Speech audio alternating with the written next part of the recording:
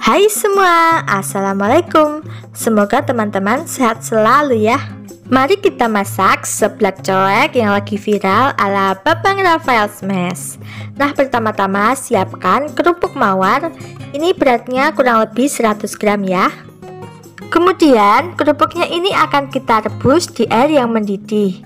Tambahkan kurang lebih 1 sendok makan minyak goreng dan rebus kerupuknya ini selama 3 menit atau sampai kerupuknya empuk ya.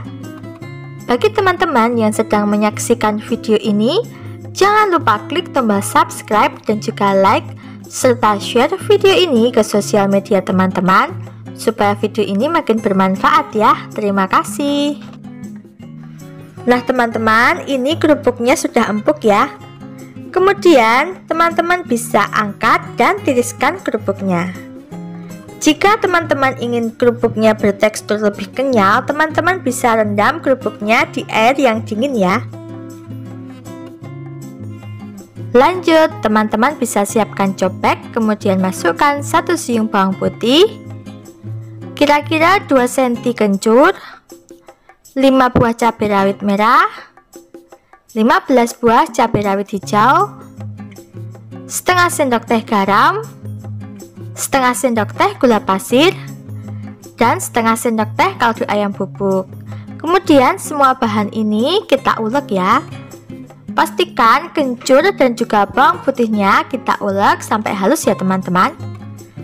Nah, seperti ini cukup. Ini bumbunya sudah cukup halus.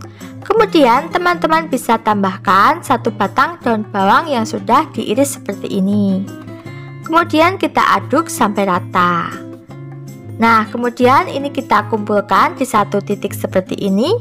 Lalu teman-teman bisa siram menggunakan eh, 5 sendok makan minyak goreng yang sudah dipanaskan sebelumnya.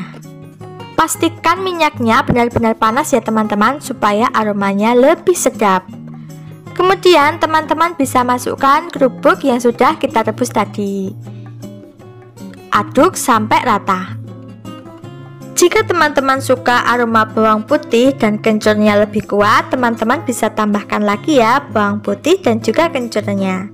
Agar lebih viral lagi, di sini aku tambahkan satu buah sosis yang lagi viral, lalu ini kita goreng sampai sosisnya ini matang.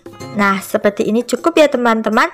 Ini sosisnya sudah matang, lalu kita bisa masukkan ke dalam cobeknya Aur-aur lagi sampai semua bahan tercampur rata. Jangan lupa koreksi rasa ya teman-teman. Tambahkan perasan air jeruk limau supaya seblak coetnya menjadi lebih istimewa. Serius teman-teman, ini seblak coetnya tuh rasanya ngenah pisan. Apa pun menu masakan kita hari ini, jangan lupa untuk selalu bersyukur karena dengan bersyukur akan terasa lebih nikmat. Sampai jumpa di video selanjutnya. Wassalamualaikum warahmatullahi wabarakatuh. Jangan lupa subscribe teman-teman. Matur nuwun.